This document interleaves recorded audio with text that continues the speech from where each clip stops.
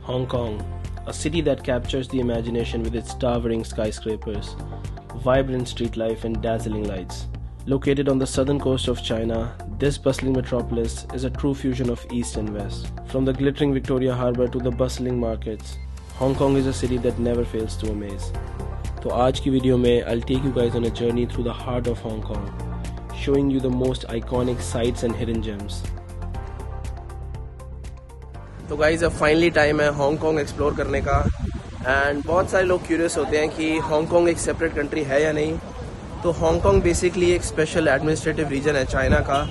Uh, क्योंकि 1997 तक Hong Kong एक ब्रिटिश कॉलोनी थी। एंड 97 में यूके वालों ने चाइना को हैंड ओवर कर दिया था हांगकांग एक स्पेशल uh, पैक्ट के साथ कि एटलीस्ट 50 साल तक हांगकांग का सब कुछ इंडिपेंडेंट रहेगा। यहाँ के लॉज यहाँ का कॉन्स्टिट्यूशन बट स्टिल आपको पता ही है चाइना हर चीज़ में इंटरफेयर करता है। तो अभी तो मैं कहूँगा कि हांगकांग बेसिकली एक चाइना की सिटी है बट स्टिल मेरे हिसाब से हांगकांग बहुत ज़्यादा लिबरल है चाइना से।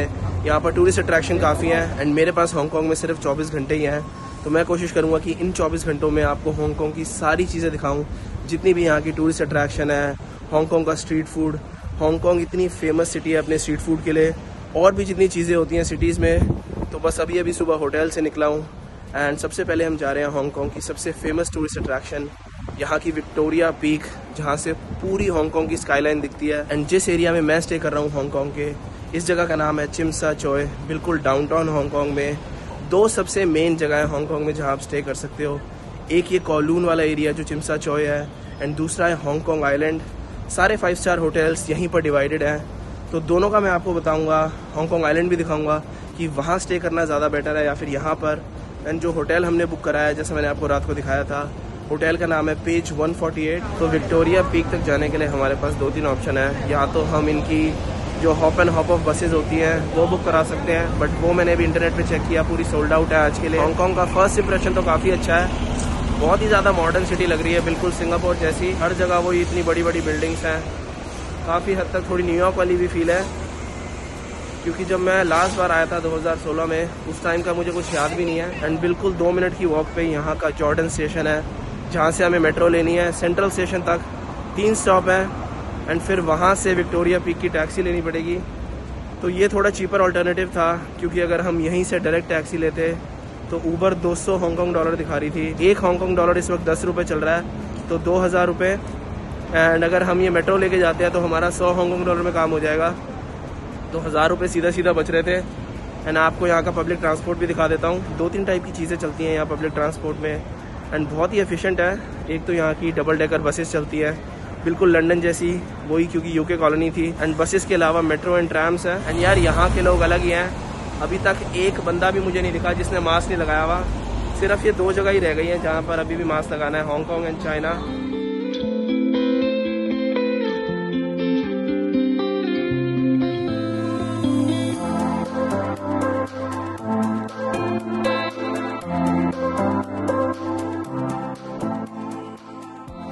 है हांगकॉन्ग का सेंट्रल एरिया एंड ये जितनी भी आप बिल्डिंग देख रहे हो, सारी ऑफ़िस बिल्डिंग है मोस्टली बैंक सामने bank of China standard chartered सबके ऑफ़िस हैं।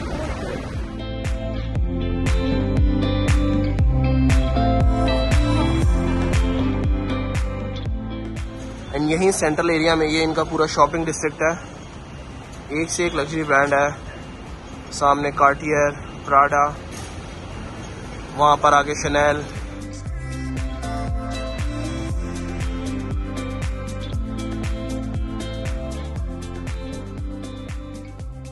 एंड एक चीज़ मैंने नोटिस करी कि यहाँ हांगकांग में भी बहुत ज़्यादा टेस्ला है।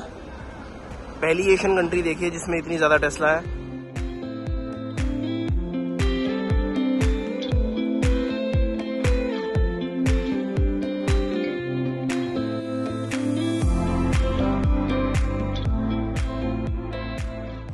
तो टैक्सी ने छोड़ा है यहाँ द पीक ट्रैम स्टेशन पे। एंड अब यहाँ से डायरेक्ट ट्रैम लेनी है ऊपर विक्टोरिया पीक तक। तो ये ऐसी ट्रैम चलती है बिल्कुल टॉप तक। एंड बेस्ट एक्सपीरियंस के लिए हमेशा इसके राइट साइड में बैठना, क्योंकि राइट साइड से सारे व्यू होते हैं।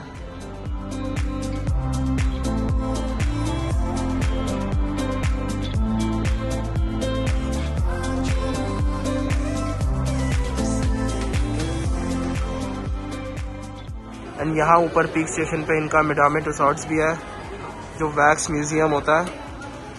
इसका ज़्यादा फ़ायदा नहीं है, अब जाने का, अब तो ये दिल्ली में भी है।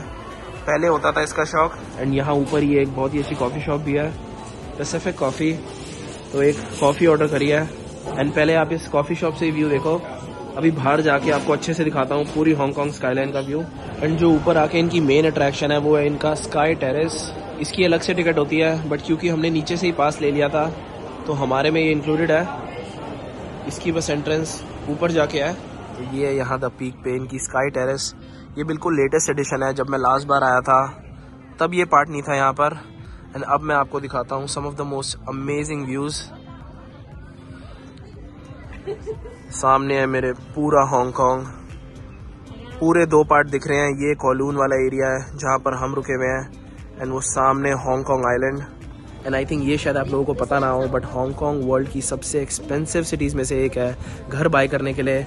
तभी इन लोगों ने इतनी ज़्यादा स्काई स्क्रेपर्स बनाई हुई हैं, क्योंकि यहाँ पर इतनी ज़्यादा शॉर्टेज है घरों की। अभी मैं रिसेंटली न्यूयॉर्क के तीन ऑब्जर्वेशन डेक में गया था। But to be really honest ये मुझे उन तीनों से ज़्यादा अच्छा लगा। यहाँ पर इन्होंने ना कोई पूरा कांच लगाया हुआ। आराम से आप व्यूज़ इंजॉय कर सकते हो।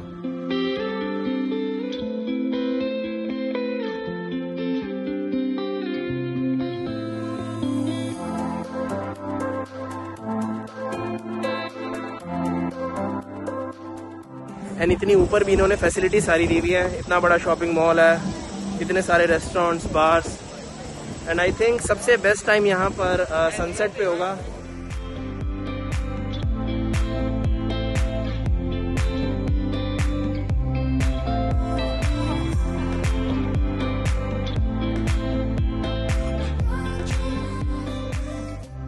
तो अब हमें जाना है वापस उसी एरिया में जहाँ पर हमारा होटल है चिमसा चो उसके लिए बस यहीं से फिर से सेंट्रल स्टेशन जाना है एंड एक मेट्रो पकड़नी है। एंड हांगकॉन्ग में यूरोप से बिल्कुल डिफरेंट ट्रैम चलती है। यहाँ की ट्रैम भी डबल डेकर है। एंड आप सिटी देखो कितनी ज़्यादा मॉडर्न लग रही है।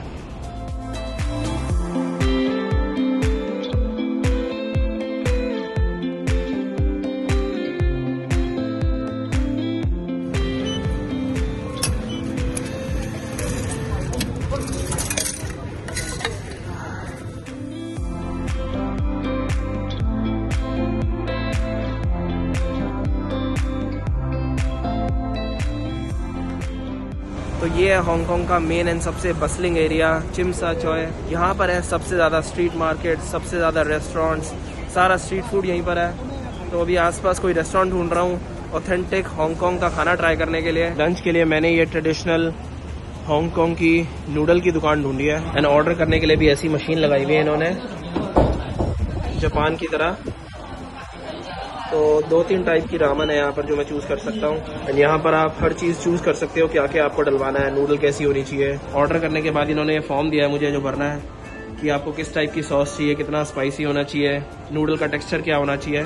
एंड यहाँ पर ये नूडल थी 98 हांगकांग डॉलर की, हज़ार रुपए की।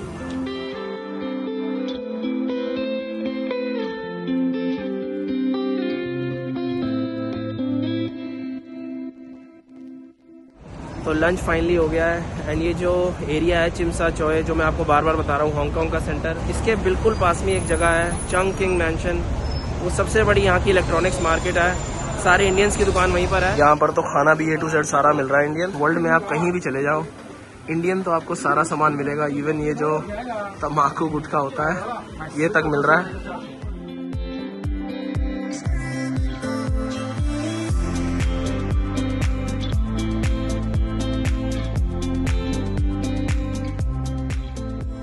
यहाँ हांगकांग में मैं देखूँ तो शायद कैलिफ़ोर्निया जितनी टेस्ला है, एक सामने खड़ी है। ये दो मॉडल एक्स खड़ी है लाइन में एंड यहाँ पर भी कस्टम प्लेट का बहुत फ़ैशन है। बहुत लोगों ने कराई हुई है। एक टेस्ला वो सामने खड़ी है, एक और मॉडल एक्स सामने। दस में से तीन गाड़ी तो पक्का टेस्ला है।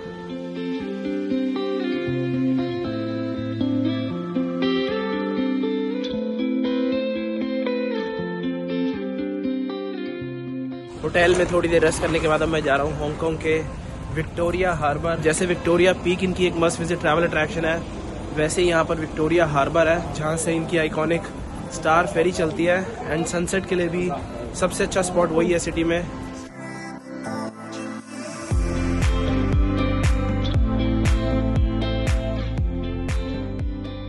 तो वहाँ सामने जाके हार्बर है एंड यहाँ एक बंदे ने गलत लैम्बरगिनी लगाई हुई है। तो सामने उसे पार्किंग टिकट मिली हुई है। 500 हांगकांग डॉलर की, पाँच हज़ार रुपये की। तो ये मेरे लेफ़्ट में है, यहाँ का विक्टोरिया हार्बर एंड ये जो आप सामने पूरी स्काईलाइन देख रहे हो उस साइड वो है हांगकांग आइलैंड जो मैंने आपको विक्टोरिया पीक से भी दिखाया था। एंड ये जो इन्होंने हार्बर फ्रंट पे वॉक बनाई हुई है, यहाँ पर मोस्टली लोग रनिंग करने आए हुए हैं। एंड सामने जाके एक बहुत ही फ़ेमस जगह है इस हार्बर पे एवेन्यू ऑफ़ स्टार्स जैसे लॉस एंजलिस में हॉलीवुड वॉक ऑफ़ फेम है, यहाँ हांगकॉन्ग में भी इन्होंने एक वॉक ऑफ़ फेम बनाई हुई है, यहाँ की फ़िल्म इंडस्ट्री के लिए, एंड यहाँ आने का सबसे बेस्ट टाइम सनसेट ही है। तभी मैं विक्टोरिया पीक सनसेट पे नहीं गया था, क्योंकि मैंने सोचा था कि हार्बर आऊँगा सनसेट पे। अगर मेरे पास एक से ज़्यादा दिन होता यहाँ पर तो तो मैं दोनों कवर कर सकता था। बट अनफॉर्चुनेटली सुबह सुबह कल हमें जाना है, यहाँ हांगकॉन्ग से मकाओ। बट 24 घंटे में भी मैंने ऑलमोस्ट सब कुछ मेन मेन देख लिया है हांगकॉन्ग का।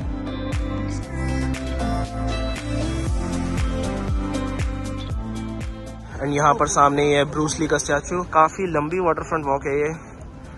एंड आई थिंक वो सामने जो दिख रही है, वो मेन स्काईलाइन है जो आपको हांगकांग के पोस्ट कार्ड्स पे दिखेगी. जब भी आप इंटरनेट पे हांगकॉन्ग सर्च करोगे, ये वाली स्काईलाइन आती है सामने जो है. एंड यहीं पे एक सामने ये पूरा लग्जरी शॉपिंग मॉल भी है के इलेवन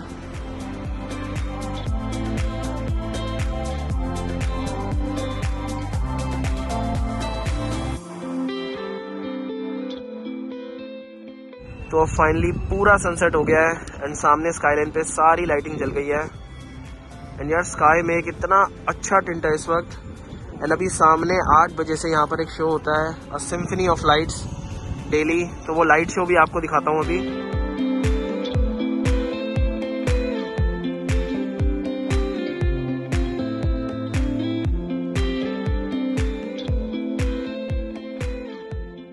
रात को ये चिमसा चोए वाला एरिया इतना ज़्यादा लाइवली होता है। एंड मेरा मन है कि थोड़ा बहुत यहाँ हांगकांग का स्ट्रीट फ़ूड ट्राई करूँ। काफ़ी सारी दुकानें हैं यहाँ पर स्ट्रीट फ़ूड की। तो थोड़ा बहुत यहाँ का स्ट्रीट फ़ूड ट्राई करते हैं। तो ये सामने इस दुकान पे अलग अलग टाइप के स्क्यूअर मिल रहे हैं। चिकन पोर्क काफ़ी उल्टी पुल्टी चीज़ों के भी हैं। ऑक्टोपस इंटेस्टाइन बट मैं तो नॉर्मल चिकन या फिर श्रिम जो स्क्यूअर होते हैं वो ट्राई करता हूँ।